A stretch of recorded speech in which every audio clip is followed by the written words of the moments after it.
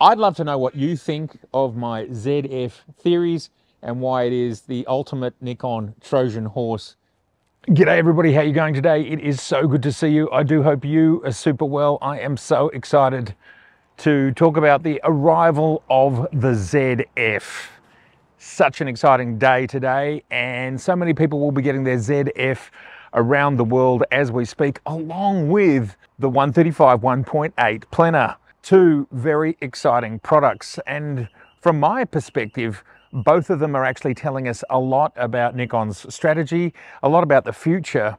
And this thing here, well, I call it the Trojan horse. And that is what this video is going to be about. Plus, cool. It's just, it's, it's just cool. It is. It's just, it's just hot. Alrighty, let's talk about why this is the Trojan horse in Nikon's arsenal. And it's about the broad appeal of this camera. And it starts with the fact that, well, it's cool. It's inspired by the FM. It's inspired by the FM2. If you fold your screen away like this, there's not a lot on this camera that lets you know that this is a modern day camera. There's not very much here at all. Now, of course, if you do this, and do this, that does change the equation. But you don't need to do that. And that is just the very first reason why this is a Trojan horse. It really does look like an absolutely retro camera. You've got two retro special edition lenses that you can snap on the front here. We've got the 28 and we've got the 40. Either option's a good option. These are light and they're affordable. Or you can go with the kit. And there it is stealth. And this camera, and depending on which of the six colors and black you go for, this camera will absolutely fit in anywhere. How good will it look on a wedding shoot? How good will it look if you're a vlogger or a blogger? How good will it look if you're just out at a party, out with the family, down at the beach, or if you're on holidays? And you can do photojournalism with this camera and you can just go with the standard black Stealth Edition, and you're going to look fantastic. You are going to look the part. But this is just the beginning of why this is a Trojan horse in Nikon's strategy. So it looks the part. It can go anywhere. It can be anywhere. It can fit in anywhere. But it's a technological powerhouse to boot. It's packing XPEED 7. It's packing the best IBIS unit that we've ever seen from Nikon. It's packing pixel shift, giving us 96 megapixels in certain situations. Of course, it doesn't work in every situation. But if you're shooting slow, still life, landscapes that are still cityscapes, interiors, there's actually a lot of use cases where you can put a camera on a tripod and get up to 96 megapixels with this camera. And then the secret, secret weapon, well, that is XPEED 7, giving us those extraordinary, exciting focus modes that we now have, the subject detection, which we can see with the latest iteration on the Z9, the 4.10, that Nikon is continuing to advance the XPEED 7 cameras where it can. And the Z9 has just gotten a few features that only the Z8 had, and now the Z9 has some features that the Z8 doesn't have, and vice versa. And this will keep going, and I don't see it to be any different for this camera and any other camera that comes before it. So that's part one of why this is a Trojan horse. It fits in anywhere, but it's a powerhouse, and it can actually shoot any type of photography. Now, would you choose to shoot wildlife with this? Well, maybe not, but it can do it. And, well, pretty much every other type of photography I think you can actually do it fine. And if you want to make it a little bit more ergonomic than it is straight out of the box, and then you grab the grip that's say from SmallRig, and I think Nikon even make their own one in some markets. Number one. Number two, Trojan horse. This is a really good indicator of what the future holds for all other Z cameras and what will happen in regards to XPEED 7. Absolutely. This is a pointer. They've now given us the XPEED 7 technology in a camera that's half the price of the most recent one, the Z8. We've gone from 4,000 US dollars down to 1,999 US dollars. This is significant. And of course, always with technology, as technology gets older, it gets cheaper. For example, if you look at an iPhone 13, they still make new ones, but it's got older technology in it and it's obviously getting cheaper. That processor gets cheaper. Well, if the XPEED 7 is the same and all of the research and development has been finalized and amortized across the Z9 and the Z8, and you are producing these chips, they're the same chip, but technology keeps moving forwards, then by rights, the XPEED 7 actually becomes cheaper and you can put it in lower and lower entry cameras as time passes. That is just the march of technology. Whether you want to see a new Z50, whether you want to see a new Z5, of course, new updates to the Z6 and the Z7, any of those cameras, along with, and people asking for a higher end APS-C camera, all of these desires are absolutely valid. And I can only think that all of the cameras will get XPEED 7. They've got to do this partially because of what their competition are doing, but also that's the platform. That's what they're developing. That's what the future is. And if that is the case, and I do think it will be, who knows, but if that is the case, wow.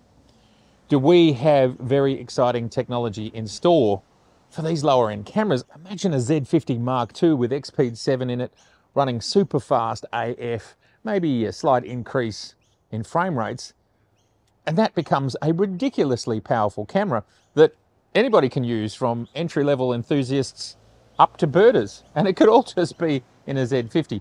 Or maybe, maybe there will be a higher end body. Who knows? Who knows whether it will be necessary if something like a Z50 Mark II simply becomes powerful enough. So Trojan horse number two is inside here. This is really telling us what the future of Z looks like. We've got so much of the Z8 and Z9 goodness inside of this camera, and this shows to us it can only trickle down and around further. Next Trojan horse is, well, essentially, this is the Z6 III, essentially, or it could have been.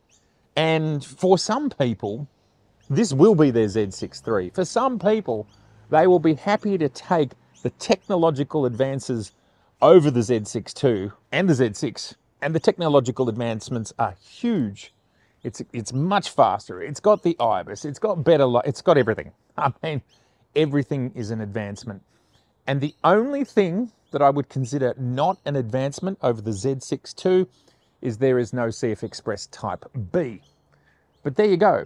You still get two slots though, you still get redundancy. And if redundancy is an issue, it's here.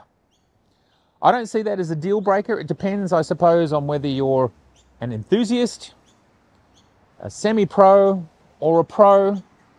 But can I tell you, plenty of pros have been working with SD for years.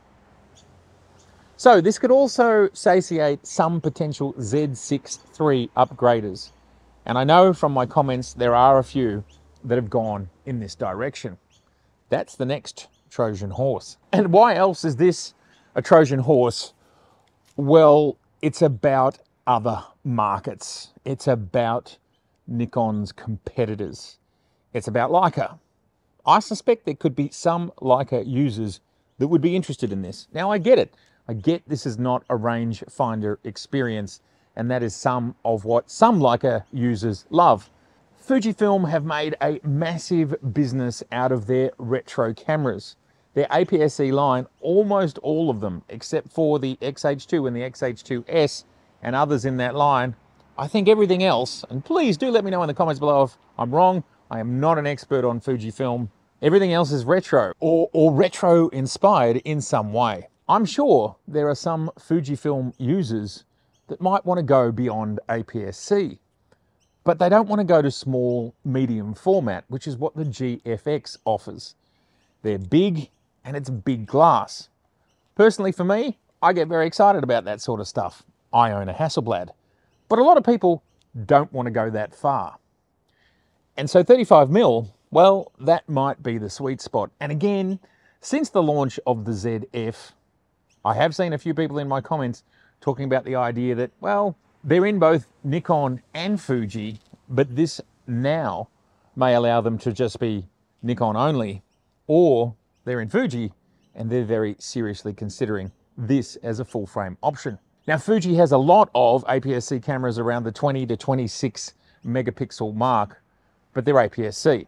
This is 24 megapixels, it's full frame, it's 35 mil. So for those users, they're gonna get a very similar experience that they've been used to for a very long time, but now they can do it in 35 mil. So this is just another Trojan horse part of this equation. Is it going to be a big change? Is it going to be a big difference? Maybe, maybe not. But if you're in Nikon shoes, your job is to expand your market. And if that means getting a tiny bit of Leica and a little bit of Fuji, absolutely everything helps. But what about Canon and Sony? Panasonic? Well, none of those brands have shown any interest in creating anything that looks like this. Cool, retro, fun. Sony kind of tries, but really they don't get anywhere close to it. We have the A7C2 and the A7CR, and they're little. Maybe you could call them cute. I don't think they're cute. I think for me and for many other users, they come across as being plasticky which is probably true. Those bodies are made of some sort of composite, some sort of plastic, as opposed to this, which literally feels like a chunk of metal, and all of this is metal, magnesium alloy. All of these dials are brass, and Rishi showed us how you can buff them back and you can go back to that original look. So Canon and Sony, they're nowhere to be seen when it comes to 35mm and this space. So there's another market. I can see some people, again, not all, but some people, and it doesn't matter if it's just half of 1%, if they're interested, that makes a big difference to any company's bottom line. And again, this camera does not just pack the looks, but it is a powerhouse of XPEED 7 and all that XPEED 7 brings for a 24 megapixel sensor at this price point. At this price point, like it's really intriguing to me what we're now getting at this price point. And there's yet even another market, another Trojan horse market. And Joe talked about that in the video that we made a couple of weeks ago. You can check it out here, which is ZFC users. Plenty of people bought a ZFC and then a lot of them said, well, why not a full frame one? And boom, here we are. So there are a lot of ZFC users like me who are just going to automatically upgrade to a camera like this. Another massive market is also people like me, again, professionals who will either use this as a B or C camera in video, because this is a very competent 10-bit log video camera, 4K, 60, all that stuff. Very competent, awesome IBIS. So great for vloggers, and of course, vloggers, because we've got the flip out screen, hello, something that people are just crazy desperate for. And there I am in full Technicolor. It's, it's great for people like me as, as a B or C video camera, but also this can be a primary, secondary, or tertiary stills camera as well on any photo shoot, as long as 24 megapixels is what you need for that photo shoot. Again, this is just packing so much tech and it will work amazingly for documentary, event, photojournalism, weddings, lifestyle, travel, and on and on the list goes. Influencers, content creator, like content creator, this is a complete package for a content creator who's interested in looking cool, but also having state of the art tech. Is there anyone else that does this in 35 mil? And the answer is no. And that's the final part about this being a Trojan horse. Nobody offers this look and this tech together in 35 mil with an extraordinary, like there's an extraordinary range of colors. They're all beautiful, all seven of them, including black, along with the extraordinary glass, which you can choose to upgrade to as you move on. And not only is there extraordinary glass in Z-mount, like we just keep talking about it, and more is coming, Sigma, Tamron, all of the Nikon stuff, and the, the Viltrox, and Meike, and Laowa, Pergear, on and on it goes. There's just so much glass available, and more and more seems to be being announced faster and faster. But then you've got to remember that this is the most adaptable mount of all mounts with autofocus, the most. So you can put on every Sony lens with an adapter. You can put on every F mount lens with an adapter. You can put on old Canon, not RF, but the previous EF Canon lenses with an adapter and so on. And there's just an almost Leica lenses and uh, Mamiya RB67 lenses. It's almost an endless list of glass that's available to all of us that can go on this camera. Stealth. It's, it's the Trojan horse, as I've said. It's for everybody. It's a powerhouse. It can shoot everything. It is affordable. This is a lot of tech at this price point. And people, anybody that might suggest to you that this is too expensive for what you get, they haven't used it yet. So there it is. It's an absolute Trojan horse. It's showing us where the future lies for more Z cameras. It's going to fit into so many markets, so many use cases, and it's going to potentially disrupt some of its competitors. This camera does so much for just one very affordable camera that, well, is just cool and, and really it's just a lot of fun. I'd love to know what you think of my ZF theories and why it is the ultimate Nikon Trojan horse in the 2020s. And if you're getting one, I'd love to know what color it is. And if you're not, what are you doing next? Are you holding on to what you got? Or if you're not, what are you waiting for? As usual, it's been so good to see you. And please do let me know in the comments below what do you think about the beautiful sunset orange? I love it. And if this is your first time here, I would love to see you again. So please do subscribe, please share, and please like. And I have to say, this just has the most awesome click. And I feel like I feel like the click has changed since my pre-production version. I don't know if that's possible, but I feel like it has. All right. I'll catch you later.